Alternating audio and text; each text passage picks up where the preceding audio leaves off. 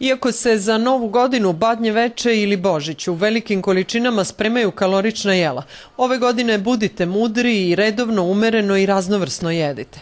Ne dozvolite da vas u januaru iznenadi broj na vagi, preduhitrite nevolje i počnite da vežbate.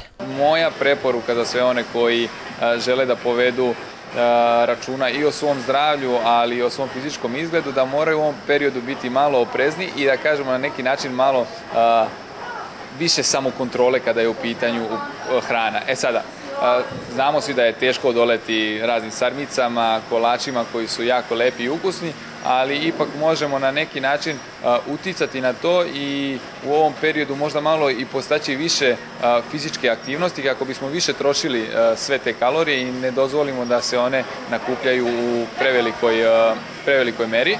Na sam dan Božića, kada prestaje post, ne bi trebalo da posegnemo za velikom količinom masne hrane. Savetuje se da to bude za početak mladi sir, jogurt ili neko manje masno meso.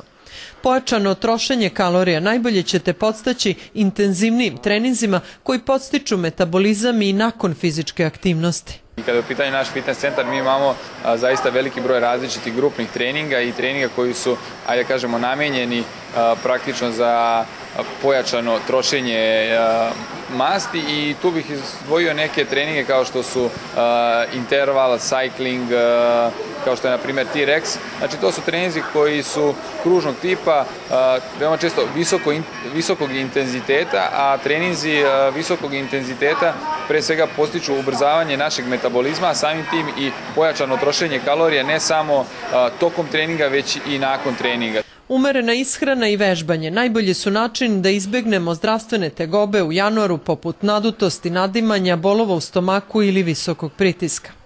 Zanimljivo je da novosadski klub World Class nudi mogućnosti besplatnog treninga.